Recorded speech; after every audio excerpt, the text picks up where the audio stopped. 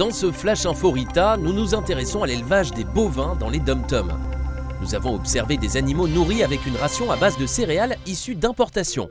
Après plusieurs jours sur place, nous constatons que les ruptures d'approvisionnement sont fréquentes, ce qui perturbe le bon équilibre alimentaire des vaches. De plus, cela a un impact négatif sur la trésorerie de l'exploitation. Les agriculteurs sont pénalisés car ils sont dépendants de cette source de nourriture. Cette situation ne sera pas supportable très longtemps pour eux.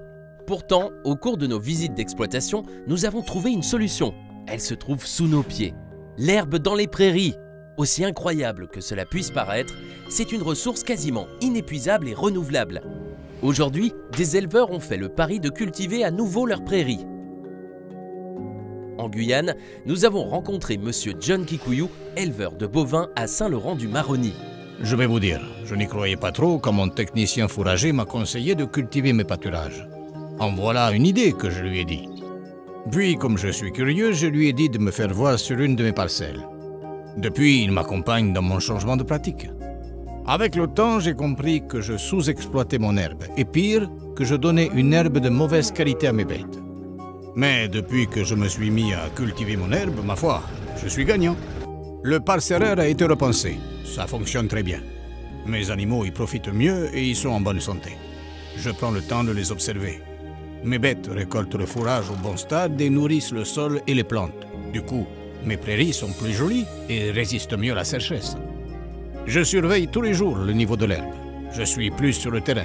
Et vous savez la meilleure, je passe beaucoup moins de temps sur le tracteur. J'ai augmenté mon stock fourrager, ce qui fait que j'achète moins d'intrants. Depuis, ben, je n'ai plus de problème de trésorerie. Ah, ça c'est sûr, je revis. En fait, je suis redevenu éleveur.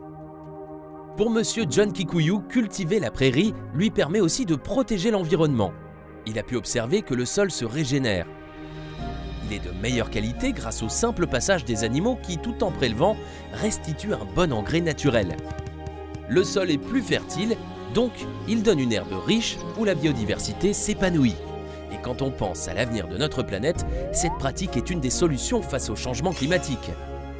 En effet, la prairie joue un rôle aussi important que les forêts dans la séquestration du carbone.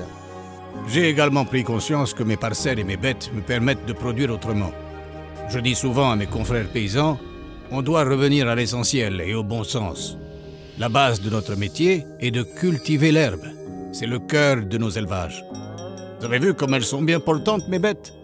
L'herbe, c'est le seul moyen de les nourrir de manière pérenne. Et en faisant ça, je respecte la nature.